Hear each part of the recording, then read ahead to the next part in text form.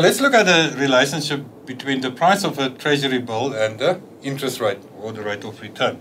Now, a treasury bill called a TB is issued by government to finance its expenditure.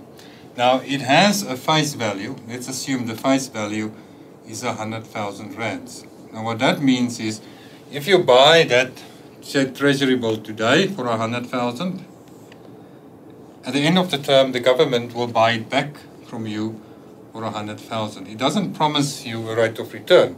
It promised to pay you that 100,000. So the question is, will you buy this treasury bill for 101,000? The answer is definitely no, because you will pay 101 and they will only give you back 100,000. Will you pay 100,000? Most likely not, because you will make no rate of return on this investment of yours. So it most probably will be sold on the market through demand and supply. It, a price will be established.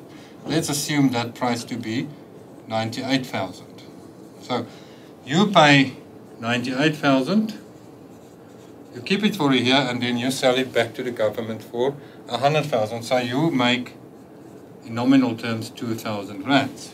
Now your rate of return is then calculated by saying it's the face value minus the price you paid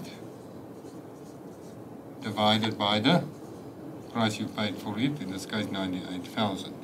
And that is equal to 2,000 divided by 98,000 gives you 2.4%.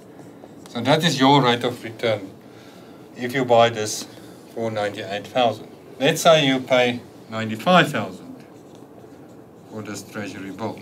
95,000, your rate of return is then 100,000 minus 95,000 divided by 95,000 equals, then you will see will be equal to 5.3%.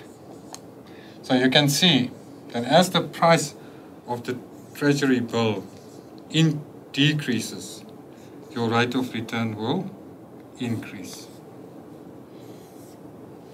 Therefore, there's a negative relationship between the price of treasury bill and the interest rate, the rate of return.